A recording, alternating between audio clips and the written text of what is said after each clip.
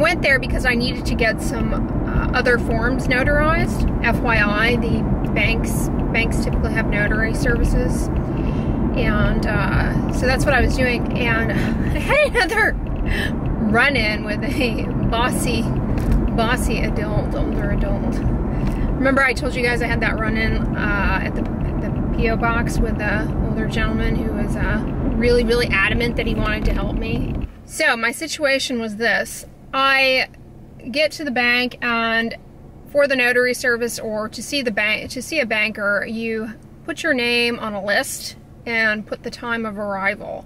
So I got there and there were, I don't know, maybe three or four names in front of me. And then I take a seat and there you can visibly see the two bankers and the banker was with one customer the customer left the banker's little uh, cubicle and the man sitting in the waiting room next to me the little waiting area he begins to you know boss me around and tell me you need to go to you need to uh, go to her now. He, she's available, and you need to go to her because I want to go to the other one because the other one knows my my story, and I don't want to go to that one. And I was like, uh, okay. Um, I, I think I don't think I'm next in line. I am really a stickler for being not cutting in front of line, not cutting in front of the line, not cutting the line. uh, you know, queue up, take your place in line, and wait patiently. That's what you're supposed to do and you don't piss somebody off who's been waiting. That's just rude. And not to mention, I didn't want to jump in on the banker, jump into their cubicle prematurely because they may have been tying up the ends of whatever their prior, you know, transaction was with that prior customer it wouldn't have been appropriate you know? It's kind of like jumping in on your on on a waiter ju jumping in on a table at a restaurant that hasn't been bussed or cleaned up yet it kind of throws throws everybody off and they're they're still you know preparing the table and they haven't actually chosen to seat you there and you know you kind of you kind of overthrow the overthrow the, the course. So I was, you know, I explained, oh, you know, I, I understand your concern, but I don't, I don't think I'm next in line, and so, uh, you know, I'll just wait to be called. and he was getting livid with me that I wasn't, you know, following his his code of conduct. I was like, buddy. I mean, and he kept saying like, you need to go to her. Just just go ahead and go to her. It's like very awkward because while I was not the next one on queue, I was the only other person in that little waiting room. The other people had, you know, kind of gone outside or whatever. You know, I don't know where they were, but I was not the next one in line according to that list, and I didn't want to piss somebody off. Um, you know, I was just following rules like you're supposed to.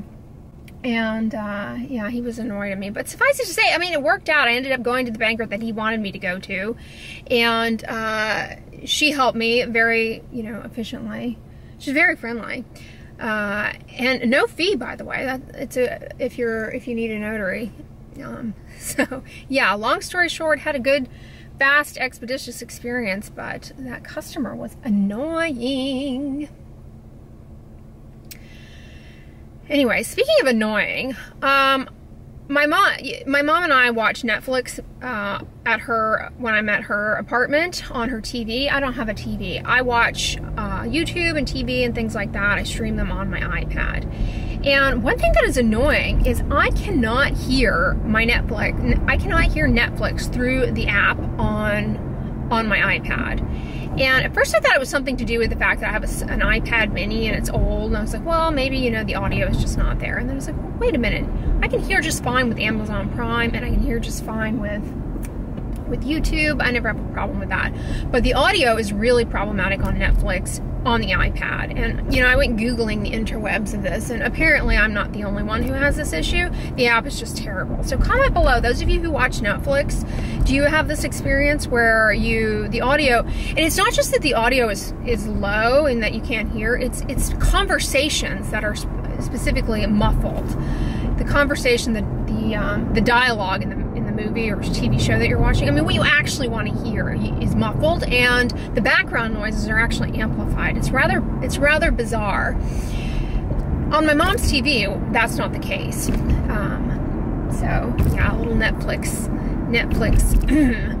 um, I remember last year this time I canceled Netflix, but I reinstated it to watch uh, like the Crown, not the Crown. What was that we were watching on there?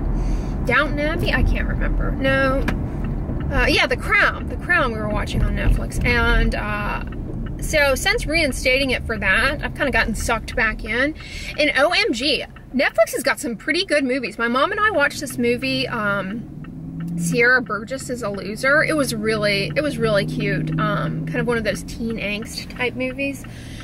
Uh, apparently the actress who was in it is in that show Stranger Things, which I never watched, um, but was supposed to be good. So yeah, that's a good, that was a good movie. I can't remember what else we watched on there that was really good. Um, but Netflix has got some pretty good movies at, lately. Um, I've been impressed. There's one movie that we watched, I can't remember the name of it, and it was not good at all, but for some reason we could not stop watching it. We're like, this movie is terrible, but for some reason we're sucked in. And it had chlor, uh, chlor, I have a trouble with her name. Florence, Chlor, Florence, Le, Florence, I want to call her Florence Leachman, but that's not right. That, that actress she was in it and some other people who I didn't know. And it was a very bizarre movie about uh, like taking her to, to spread her um, bury her dog and she had this she had she had stuffed her deceased dog and she was carrying it around with her so it was a little unsettling but yeah the dialogue in that was terrible um, and the plot was bizarre. I don't recommend that. And I can't even remember the title to, to warn you of. Or or the, the proper name of the actress. Lord. Um, what else? Um, so I'm running to Costco to the grocery store and what have you. I'm a little apprehensive that I won't be able to share a grocery haul with you guys because I am having some work done in my apartment today. Uh, I have been having an, uh, I had an acute issue uh, in my bathroom with the plumbing, and I have to say two thumbs up for my apartment maintenance team. I mean, they have been on that. They got in touch with a plumber, put a bid in, and the plumber is there, and apparently they have to they have to knock down my bathroom wall to get to the pipe system and pull out the tiles. So that is rather a loud endeavor. I really appreciate though that they gave me notice as to when the plumber was going to arrive and the plumber arrived exactly as predicted and that that this was going to be occurring today because um, you know I when I film videos that would not that would not be ideal fortunately this coincided with grocery day, but if the banging and rattling is still going on when we get home, I might not be able to, show you guys my grocery haul. Oh, I've got, check out this new bracelet that I got for Christmas. It's um, a uh, Alex and Ani bracelet with this beautiful pineapple and it matches my Ana Luisa. I'm just so so bling bling. I love my jewelry, but this I just love. I've always wanted one of these uh, Alex and Ani bracelets. The um, material is copper, I believe. And it's really cute. And I love the pineapple. I mentioned in my lifestyle, oops, in my lifestyle favorites video that my pineapple earrings, uh, first of all, the back of one of my pineapple earrings fell off. And then I had this uh, kind of cheapy backup back for the, the earring and I eventually lost, unfortunately lost one of the pineapple studs and then the necklace itself uh, broke so yeah, my pineapple jewelry has been out of commission, but now I got some new pineapple bling bling. Um, so yeah, love my pina jewelry. Um, all right, let's see if El Dad Crown is here.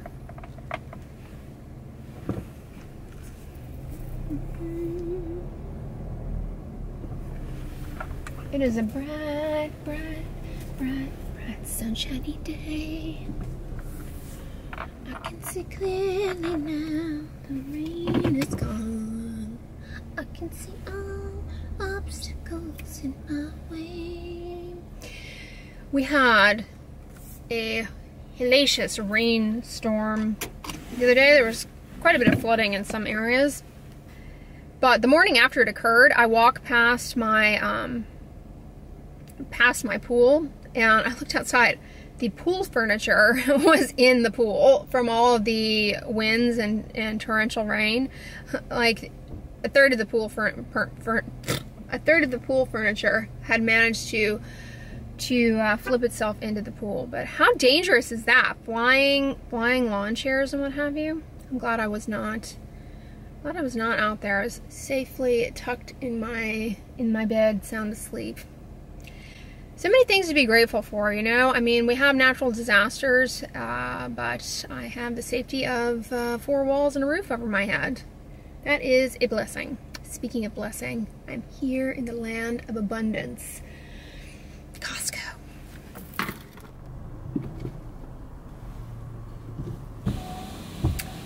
Well, hey guys, I'm taking care of my all-time favorite adult task, and that is a little car doodle. Just filled up my tank.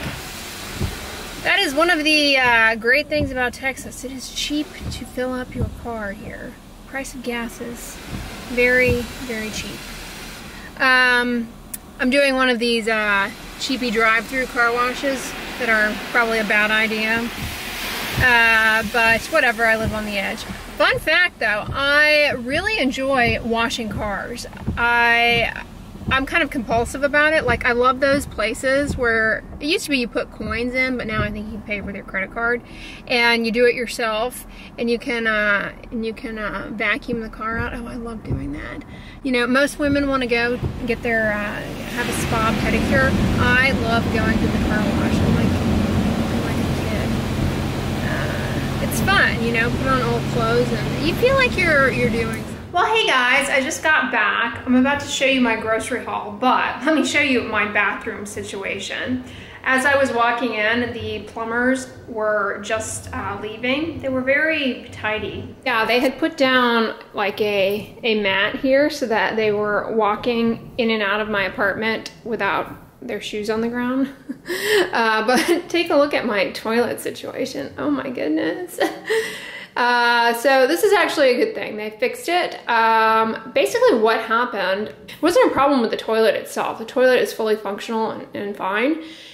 The toilet, however, the pipe that goes into the ground uh, was put into the foundation in such a way that it was slightly off at an angle and for whatever reason because of that it was coming up out of the wall uh, slightly bent and the toilet itself was not actually over the pipe. And so what was happening is that there's basically there's basically a kink tilted um, uh, exit exit exit from the toilet into the ground. And so what was occurring is that anytime I put toilet paper down the toilet it would get trapped there. And as a result, uh, I kept having issues where my toilet would, I'd flush the toilet and be fine, but then it would not fill back up with water.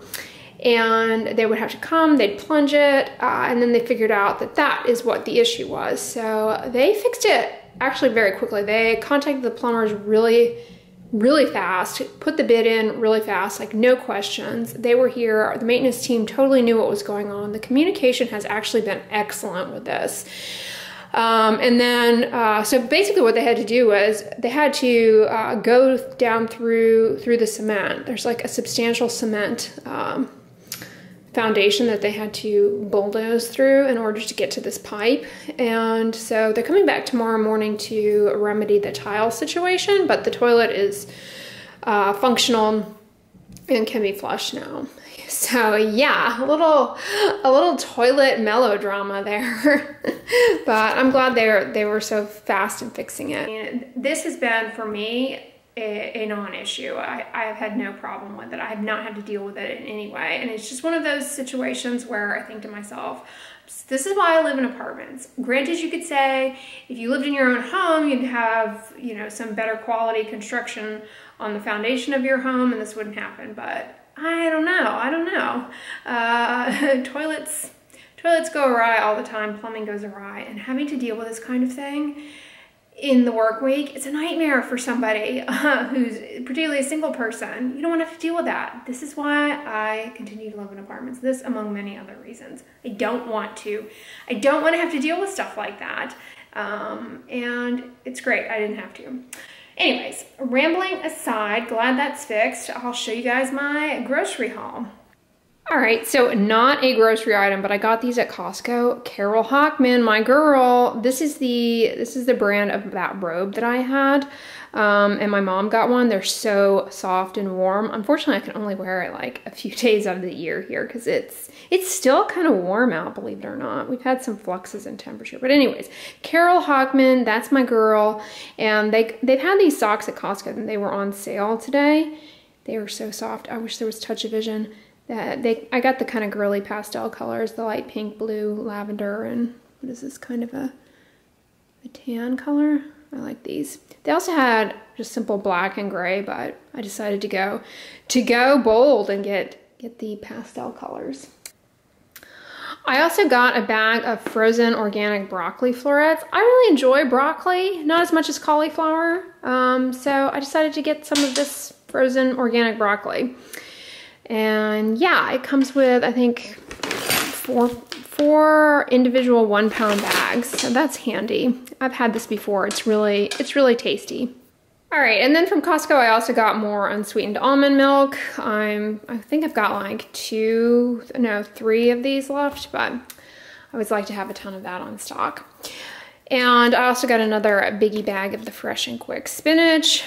I haven't had celery in a long time. The celery at Costco is really good, this Taylor Farm celery, so I got that.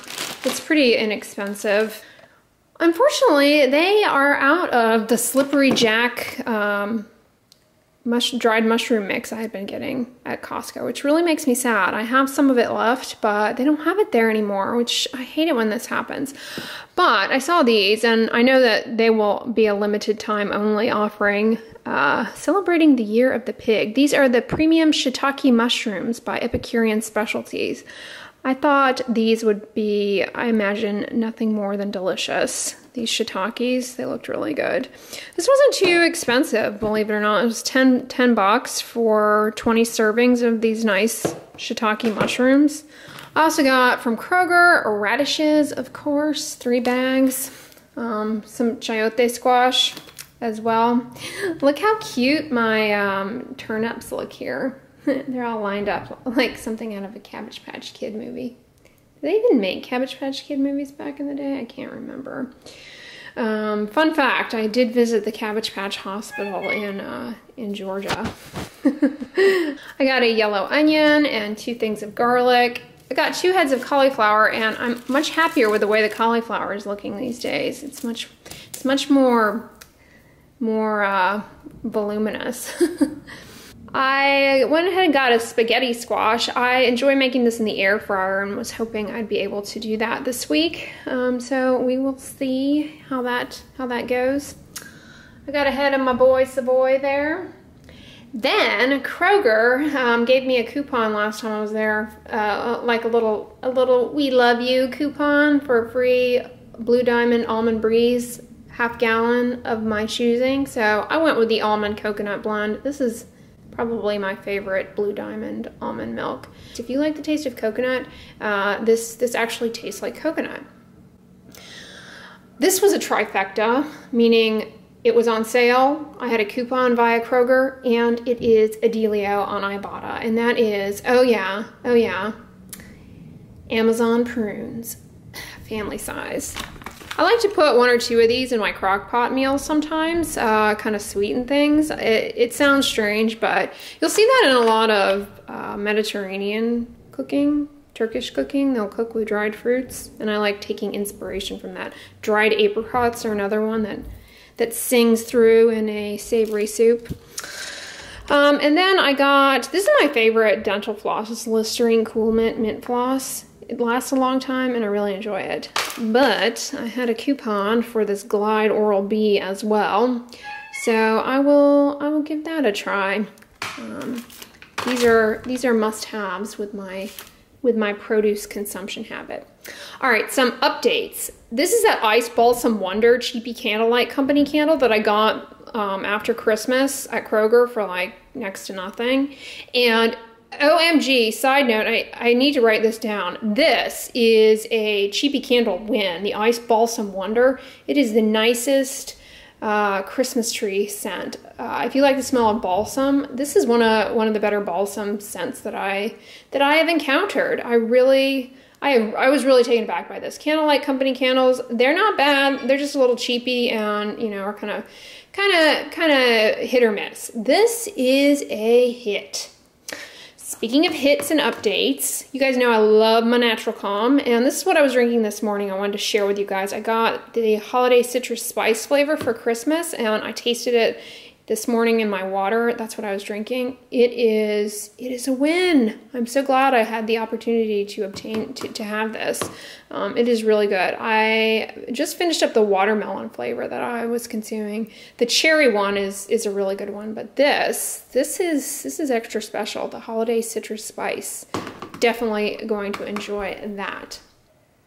So yeah, that's everything that I got at Kroger and Costco this week. Um, but I hope you guys enjoyed the blog today. If you liked it, give it a thumbs up, share it with your friends, and as always, don't forget, sunscreen and subscribe. I'll talk to you guys tomorrow. Bye.